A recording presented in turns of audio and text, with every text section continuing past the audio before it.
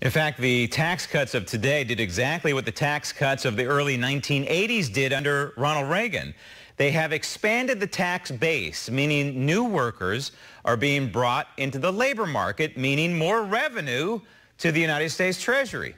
That's the good news. The bad news is the government is spending every penny of those tax dollars and then some. Joining me now from Dallas, Texas, co-founder and chief strategist of GDP Advisors, Seth Denson. Seth, it kills me. It absolutely kills me when I hear people go on television and they say, well, uh, these tax cuts are producing deficits. That's not what's happening. There's more revenue going to the United States Treasury ever in the history of this country, in the history of the world. Washington, D.C. doesn't have a revenue problem. Washington, D.C. has a spending problem.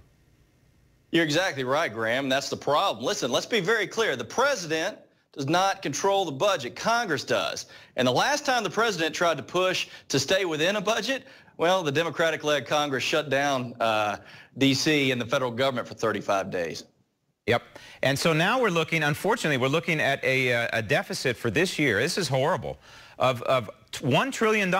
And by the way, the fiscal year isn't over with yet. We've got a couple, three weeks uh, left, but we can't keep running deficits uh, of a trillion dollars a year. And one of the reasons why is, you know, we're staring at a now near $23 trillion national debt, is the interest on the debt. We have low interest rates now, Seth, but at some point, at some point, they're going to go up.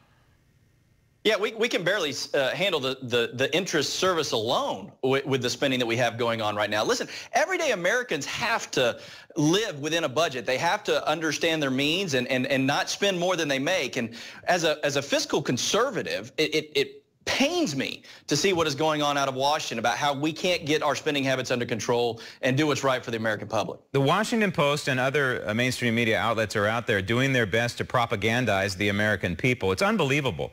I mean, Heinrich Himmler would be proud of what's going on with these publications right now, using the R word. I will not use the R word on this. you can say it. I'm not going to say it because I don't want to be part of the problem. Uh, they're pandering for an economic downturn, and there's, there's more pablum out there today now, some phony poll that's talking about the American people now bracing for the R word.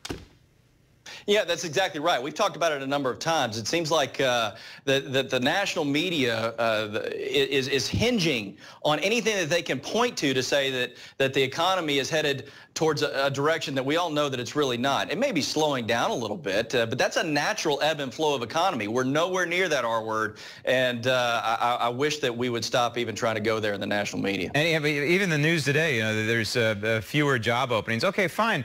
That's fine. We're at full employment. you know, you, you, the, it, the unemployment rate can't be any lower than, than what it is right now. The economic news is good. It's just that the mainstream media doesn't want to report it. Seth, thanks.